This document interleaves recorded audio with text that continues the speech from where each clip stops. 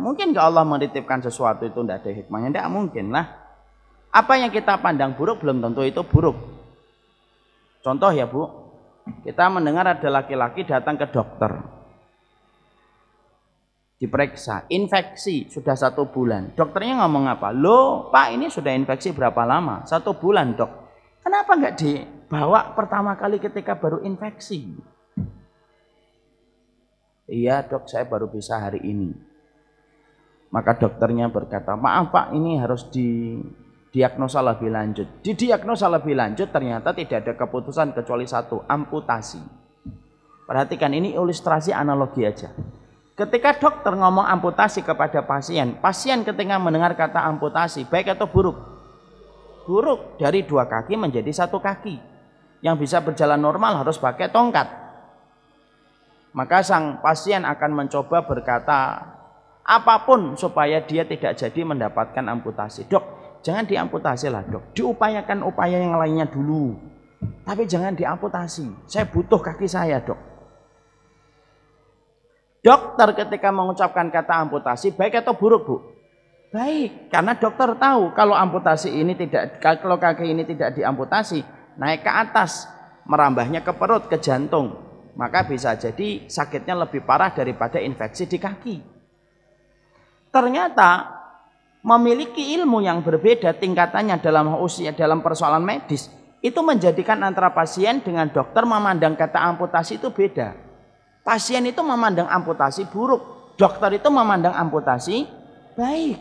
Kita secara ilustrasi analogi tadi, kita ini mungkin tak terkecuali kita, kadang-kadang saya yang kelemah iman, kadang-kadang kalau melihat satu peristiwa kita melihatnya buruk. Karena kita sebagaimana pasien yang terbatas ilmunya. Tapi bisa jadi apa yang kita pandang buruk tetapi justru menjadi keba kebaikan. Jangan sampai ada yang mengatakan Allah dolim sama saya. Terus kalau kalau kemudian Allah kita tuduh dolim, terus yang tidak dolim siapa? Siapa yang tidak dolim kalau Allah kita tuduh dolim? Tadi malam bu saya habis ngisi di ceger, ada seorang bapak-bapak itu lagi diuji dia dan semoga Allah memberikan kekuatan bagi beliau. Sempat dia ngomong Allah itu dolim sama saya, hes nggak boleh gitu saya bilang. Loh kalau bapak tuduh Allah itu dolim, terus yang tidak dolim siapa pak? Yang tidak dolim bapak dengan kondisinya. Tidak mungkin Allah itu dolim. Kalau Allah itu pengen mendolimi kita, gampang. Gak usah diciptakan kita itu sudah cukup. Kalau Allah itu menciptakan kita, menumbuhkan kita di rahim istri kita, di rahim ibu kita, kemudian berkembang sampai 9 bulan, dilahirkan dalam kondisi kita menangis, diberikan air, diberikan makanan, diberikan hirupan oksigen sampai kita hari ini. Itu berarti Allah itu ketika mengadakan kita, Allah itu tidak mungkin mendolimi kita, dirawat dengan baik kok. Jadi tidak ada kedoliman. Orang yang mendapatkan banjir pun bukan karena Allah ingin mendolimi. Pasti ada hikmahnya. Dan kita ini diperintahkan oleh Allah untuk menunggu di ruang tunggu supaya takdir itu berujung pada sesuatu yang manis. Kalau menunggu sesuatu yang manis itu memang harus sabar. Kalau kamu ingin memetik manisnya mangga, kamu tunggu masa panennya.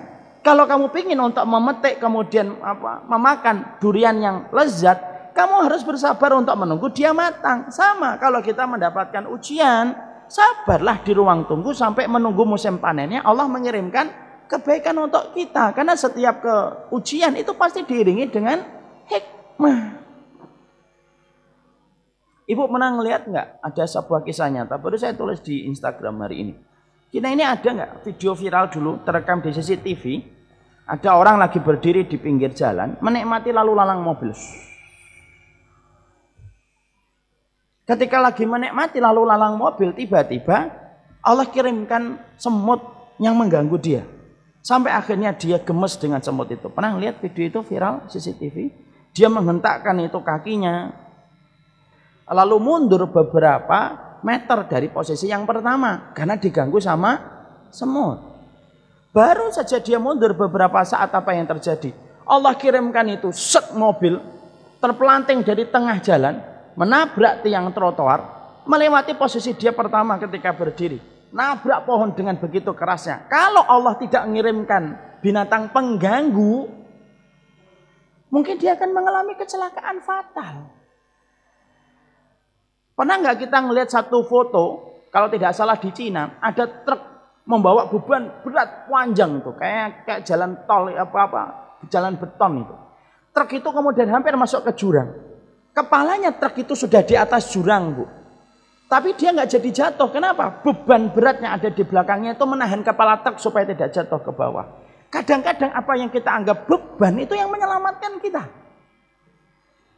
Cuma kita manusia itu diberikan oleh Allah salah satu ujian. Kita ini terburu-buru. Kita itu ingin melihat bahwasanya segala sesuatu itu hikmahnya sekarang. Ya tidak bisa. Nabi ketika terusnya dari kota Mekah itu kalau kita pandang persepsikan Nabi itu kalah, Nabi itu terhina karena terusnya dari kota kelahirannya. Tapi siapa yang menyangka dengan Nabi pindahnya ke kota Madinah justru kemenangan Nabi itu diperoleh bukan dari Mekah tapi dari kota Madinah. Jadi setiap ujian yang Allah berikan kepada kita itu pasti ada hikmah besar yang Allah kirimkan untuk kita. Assalamualaikum Bersama saling sapa TV